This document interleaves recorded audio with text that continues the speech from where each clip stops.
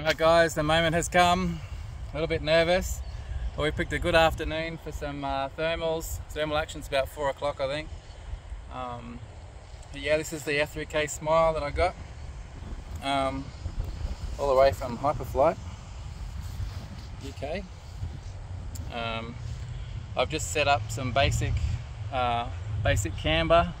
So I've got a launch mode, um, cruise and thermal um, on one switch and I've got landing flaps. Extreme. So, so, we'll see we'll see how it goes.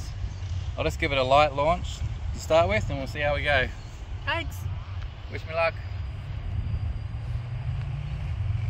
Right. Here we go. Don't judge me on my launch, alright?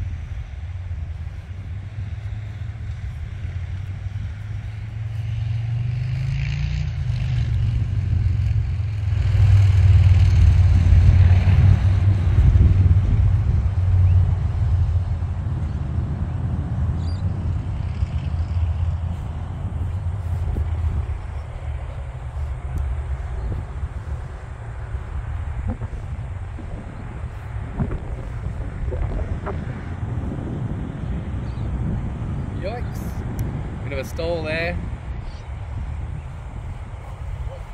Let's see if we can come in and land this puppy. Oh, my goodness. Here we go. Here we go. Oh, that was scary. that was really scary.